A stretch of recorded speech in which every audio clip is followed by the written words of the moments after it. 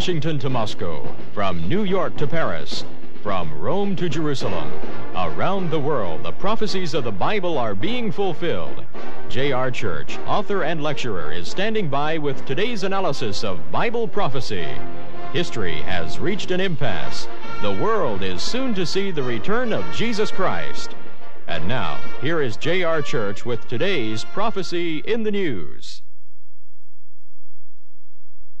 Five times more people perished in earthquakes in 1978 than in the previous year, according to the United States Geological Survey. Survey experts say that the number of significant quakes rose from 36 in 1977 to 62 in 1978, and fatalities increased from 2,899 in 1977 to some 15,195 in 1978. However, in spite of those figures, 1978 passed without a catastrophic, overwhelming earthquake. By that, I mean a quake of a magnitude of more than 8 on the Richter scale. It was the first time since 1974 that a year passed without a great earthquake. The strongest quake recorded in 1978 was centered in southern Mexico. It caused considerable damage to Mexico City. It was registered at 7.9 on the Richter scale. Eight persons died in that earthquake. Most of the some 15,000 deaths occurred in a single earthquake, measuring 7.8 on the Richter scale. That earthquake was located in the country of Iran. The earthquake occurred in the northeastern section of the country and took nearly 15,000 lives. It is rather sad to note that the country of Iran has not only seen a political upheaval during these days, with the death toll rising to over 2,000, that an earthquake would take seven times that many lives on September 16, 1978. It seems rather apocalyptic that the country which suffered the most political turmoil in 1978 also suffered the greatest natural disaster. One wonders if perhaps the country which has suffered wars and rumors of wars, along with earthquakes in divers places, is not also destined to suffer famine and disease in the coming months. The second most costly quake in terms of lives lost occurred in northern Greece on June 20th. The earthquake measured 6.6 on the Richter scale and killed about 50 persons. There were two earthquakes in Japan in 1978. The first occurred on January 14th. It measured 6.7 on the Richter scale and took some 18 lives. The second Japanese quake occurred on June 12th. It was larger and more devastating, and it measured 7.5 on the Richter scale and took 22 lives. Often, when we hear the numbers 22 people killed, 10 people, 18 people, eight people, or even 15,000 people killed, we have a tendency to think only in terms of numerical values. Ladies and gentlemen, these were precious people, eternal souls destined somewhere forever. They were children who were the light of their parents' lives. They were husbands who were the breadwinners for their families. They were wives and mothers whose families needed them. It is not a pretty picture, and we are saddened by the facts. Our hearts go out to the bereaved families. And yet we know that heartache, sorrow, and woe must attend the birth pangs and the birth of a new age. If Christ is to come and establish a glorious millennium, then there must be Armageddon. We can take comfort, however, in the words of the Lord Jesus Christ, who said in Matthew chapter 24, See that ye be not troubled, for all these things must come to pass. And though we are somewhat appalled by the fact that our ally, Iran, should fall into communist hands, we are also reminded in Bible prophecy that it should be so.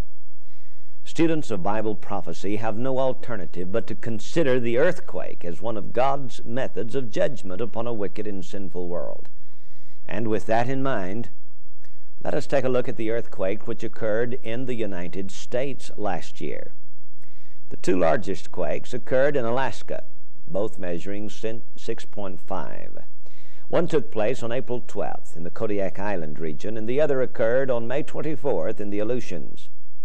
In the 48 continental United States, the strongest quake in 1978 was recorded on October 4th near Bishop, California, measuring 5.8. The most dangerous, however, was a 5.7 tremor that injured at least 72 persons and caused an estimated 12 to 15 million dollars damage in the Santa Barbara area of California on August 13th. California had 13 quakes last year, in which at least minor damage was reported. According to Steve Plagemann and John Gribbin in their book, The California Effect, California will see devastating earthquakes as we approach 1982. According to these scientists, the planets of our solar system will be aligning themselves creating a tremendous gravitational pull. Now, though this alignment of the planets occurs every 179 years, the alignment occurring in 1982 is thought to be just the catalyst to trigger violent earthquakes in California. Some scientists fear that portions of California will break away from the continent and sink into the Pacific. 13 earthquakes in one year should at least cause concern. Of all the earthquake-prone places in the world, California, with her 30, uh, with her 13 significant quakes, topped the list. We're reminded in Bible prophecy that in the last days, the islands would be moved out of their places. The word islands could also be translated coastlines. In 1978, there were 345 earthquakes in the United States. These occurred in some 28 of the states. This is down from 372 in 1977 and 414 in 1976. California led the list with 117 earthquakes. Now, she had 13 significant earthquakes in which damage or injuries occurred but 117 earthquakes, followed by Hawaii with 96. Alaska had 45, Wyoming 16, and Nevada 9. Other states in which at least one quake was felt included Arizona, Idaho, Montana, Utah, Washington, Illinois, Missouri, Oklahoma, Texas, New York, North Carolina, Pennsylvania, Tennessee, Alabama, Arkansas, Colorado, Maine, Maryland, Mississippi, Nebraska, New Jersey, South Carolina, and Virginia. And that wraps up the picture for 1978, but the question looms in our minds what about 1979? What will happen this year? I think it is safe to say that we will see an increase in the number of earthquakes, and possibly devastating ones. According to Bible prophecy, there will be earthquakes in divers places. And in the book of the Revelation, chapter 16, verse 20, the Apostle John looks into the future and describes what he saw. Every island fled away, and the mountains were not found. I used to wonder how such a thing was possible. The islands fleeing away, Little did I realize that the continents of our world are only plates that move upon the ocean floor. This geological fact was driven home to me even more forcefully one day when I saw a picture of the floor of the Indian Ocean just east of the coast of Africa. There I saw a perfect pattern on the ocean floor for what we would call today Australia. And yet the island of Australia lies 4,000 miles to the east. Obviously, there was a time when Australia was positioned close to the continent of Africa, just below the Persian Gulf. According to Bible prophecy, this type of earthquake will occur again, but this time every island in the world will be affected. In fact, according to Isaiah chapter 14, verse 20, the earth shall reel to and fro like a drunkard and shall be removed like a cottage.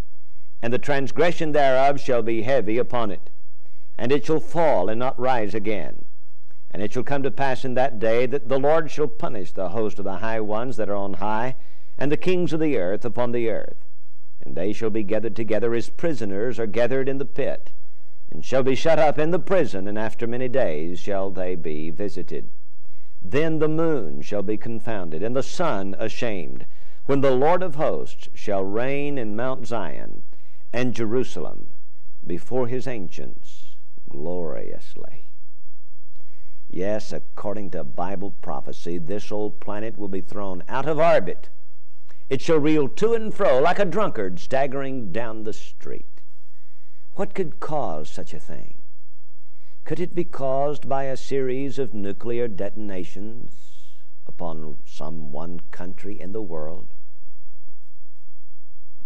Or maybe several countries?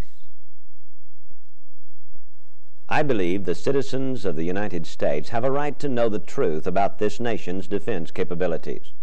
And we deserve to know the truth about Soviet Russia's worldwide strategy. The American people deserve to know what has happened, what is happening, and what could happen in the future as a result of the Soviet Union's military buildup. As the people of the United States turn their attention more and more toward domestic affairs, including the battle against inflation, the spotlight on foreign policy has been somewhat muted. This could be a tragic blunder. While we're busy with domestic affairs, Moscow, with the help of 50,000 communist Cuban soldiers, made a mockery not only of detente, but of human rights itself, with little or no real opposition from the United States. More recently, it has been revealed that the Russians have been sending Soviet MiG 23s to Cuba these sophisticated fighter planes are capable of carrying nuclear weapons. If Moscow is permitted to place nuclear weapons in Cuba, then the United States' future will be dark indeed. The citizens of America have been told that for all practical purposes, the United States and Russia are about equal in nuclear strength. We have been told by the highest officials in Washington that Russia would not dare attack the United States because they say no one can win a nuclear war, that they would lose as many people as we would. Yet, according to Major General George Keegan, Jr., who was Chief of Air Force Intelligence for the United States until January of 1977, Russia has built more than 1,500 underground shelters to protect its key leadership and thousands of citizens against an atomic attack. If this is accurate, and Russia is building its military arsenal at every level as fast as most reports indicate, then what is the motive? Does Washington not know for sure what the score is? Are the American people being deliberately kept in the dark? Are we being misled? America has a right to know. We have a right to know if General Keegan is correct when he says that 160 million Americans would die as opposed to only 5 million Russians in the event of a nuclear war. And again, assuming that the United States and the Soviet Union reach an agreement on strategic arms in the SALT II negotiations, how can we be sure that the treaty will be adhered to?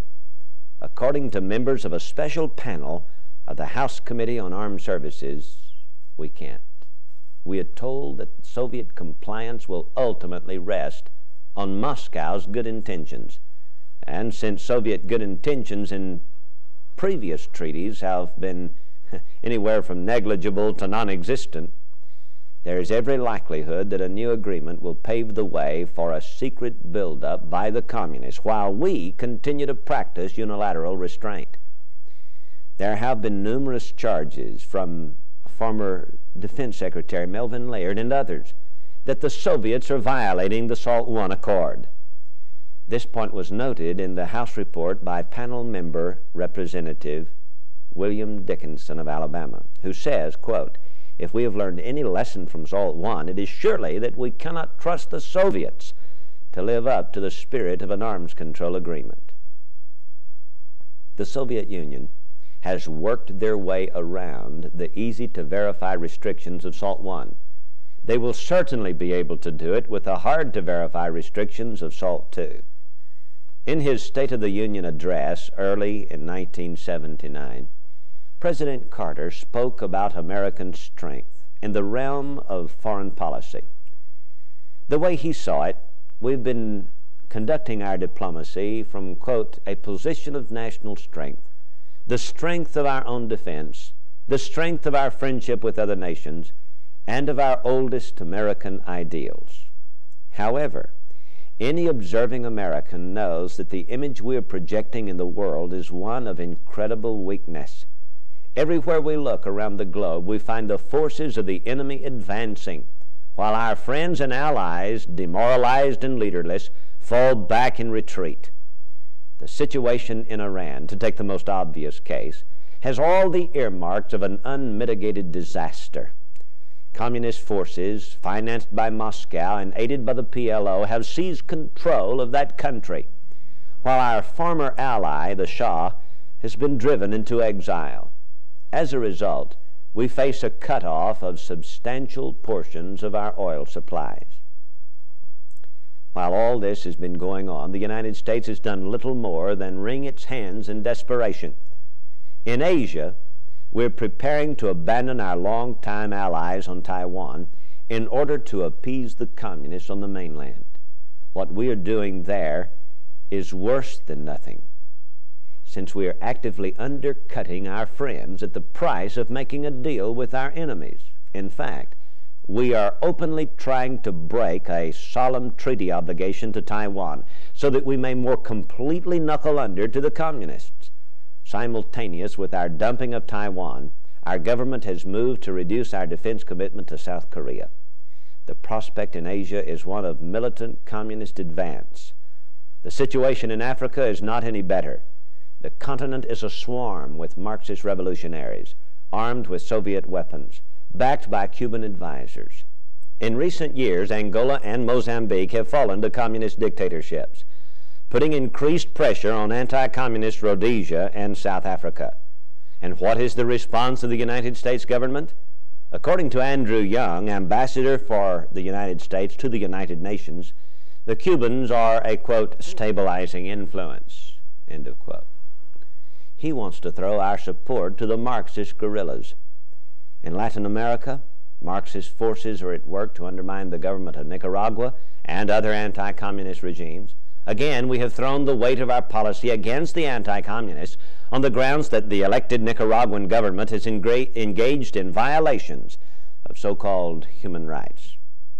But in the meantime, we have embraced and strengthened the Marxist regime of Omar Torrijos in Panama, even though he took power in a military coup and is executing his political opponents.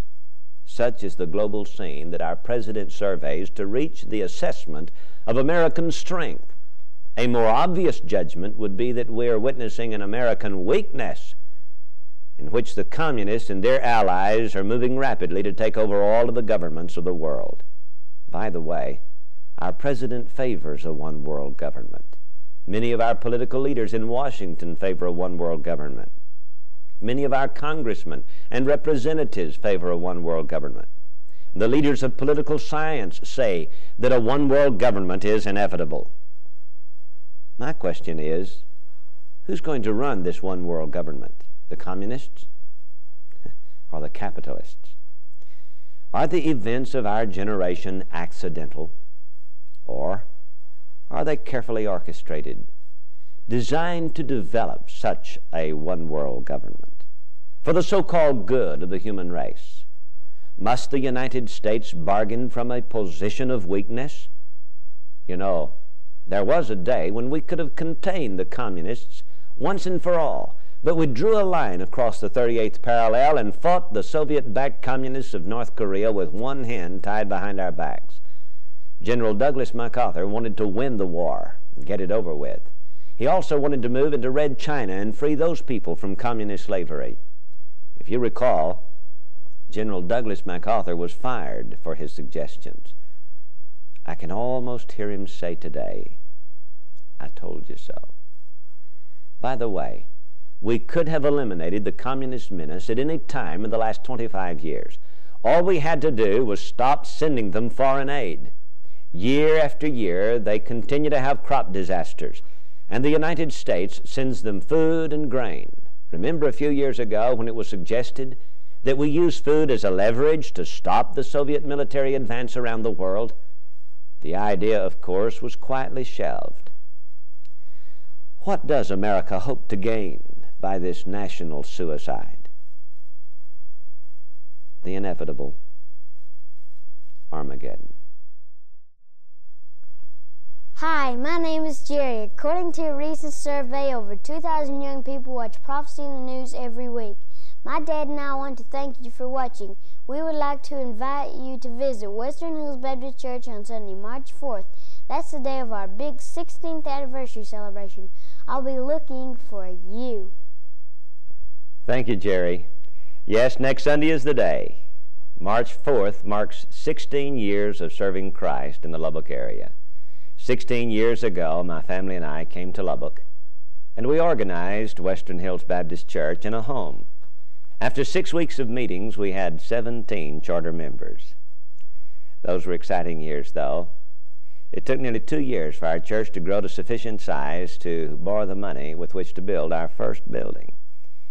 Not being backed by any financial organization, it took a while, but God has blessed. And we have built seven times over the past 16 years. The Academy has been a blessing to the people of Western Hills. This year we have our largest enrollment. We praise the Lord for that. And the members, well, I have some of the finest members in the world, sweet Christian people. And I rejoice in the privilege of leading our congregation to serve the Lord. You know, that's what it's all about.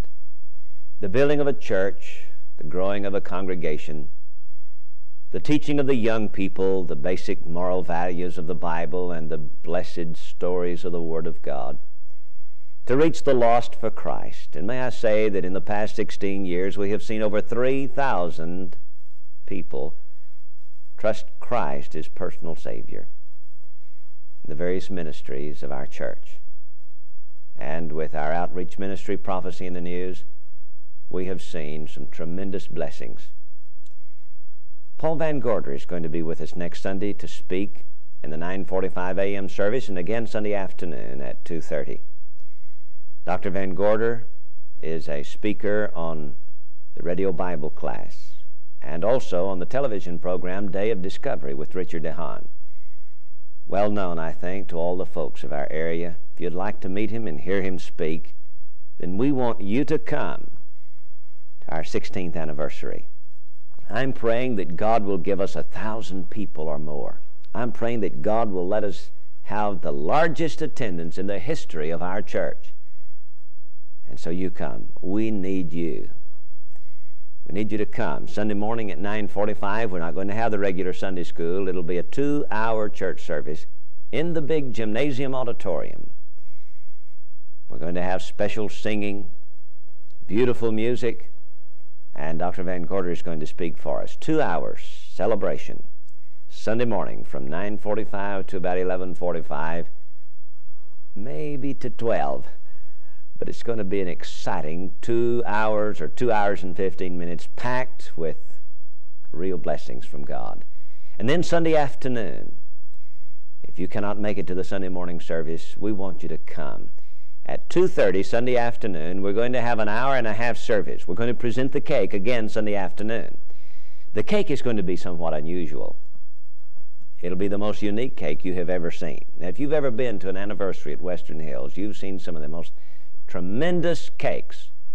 Um, but this one's going to top them all. And at about, about 4 o'clock Sunday afternoon, we're going to eat that cake. We're going to serve it to all of the folks who've come to help us celebrate 16 exciting years. So we're looking for you to come. That's next Sunday, March 4th, to hear Dr. Paul Van Gorder, 9.45 a.m. and 2.30 p.m. We'll be looking for you. Now let me talk to you for just a few moments about our 10 a month club. I believe that it is God's will that we carry on an outreach ministry, Prophecy in the News. It is a great missionary enterprise. And I want to encourage the many of you who have written, and by the way, in the last two months, my poor secretary has added 450 names and addresses to our mailing list of folks out there folks like you who have written to have a part in prophecy in the news. Now look, I would like to see all 450 of you who have written to write me this week and say, Brother Church, I want to join the 10 a month club. Now here's what we've done. If you can send $10 a month to Prophecy in the News, then we can put the program on in Dallas, Oklahoma City, and Houston, and spread from here to all the cities of our nation. I believe it's God's will in these last days before the second coming of Christ. And if you could help us with a gift of $10 a month in regular support of Prophecy in the News, then write me and say, Brother the Church, I want to join the 10 a month club. If you'll do so, I'll send you two tapes. These are the cassette tapes of January's television documentaries. Four weekly programs are recorded on these two cassette tapes. And then, as you send a gift the following month, we'll send you February's. And as you send a gift the following month, we'll send you the tapes for March. You will have six tapes or 12 programs, and we will send you the cassette taped volume albums so that you can house these six tapes in your volume number six. So write today. God will bless you for it. Say, Brother Church, I want to join the 10 a month club. Now, if you just send a gift, if you don't men- mention the 10 a month club, we won't know. But if you'll say, I want to join the 10 a month club, we'll be sending you these tapes. We'll be looking for your letter in the mail soon. Until next week, keep looking up.